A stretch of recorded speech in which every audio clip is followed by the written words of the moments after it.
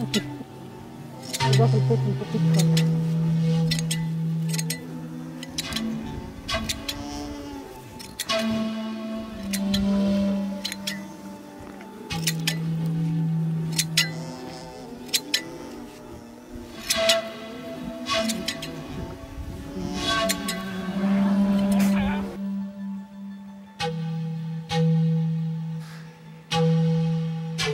Yo vengo de una familia ya de artesanos, mi papá era artesano, ellos tejían muchas frazadas y chales para vender, se iban a Barito, a Lipión, Salta.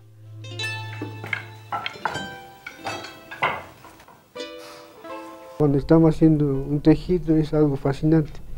Cuando, está, cuando veremos terminado para apreciar, para, es como si estuviésemos creando algo, como si fuese nuestro hijo.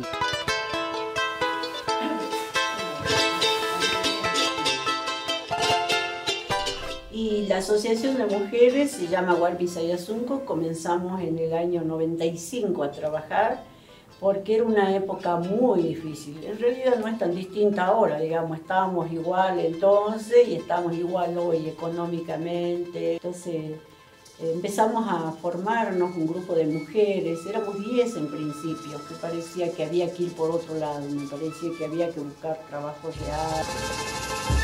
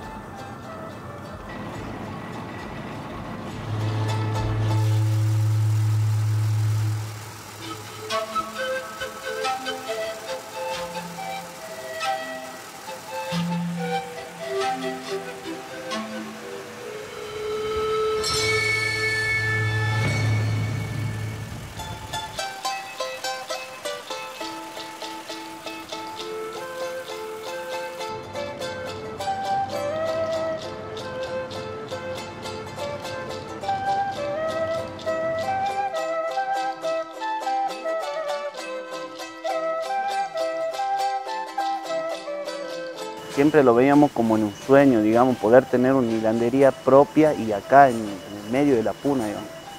Y creo que esto lo estamos haciendo poco a poco. Como, somos como un caso de estudio prácticamente para muchos el hecho de decir que un empresario se siente con un productor eh, para poder establecer los precios y para poder ver de qué manera esto nos sirva a los dos. En eso, en eso está la Asociación de Mujeres, de que eso sea así, que, que hay un equilibrio. en lo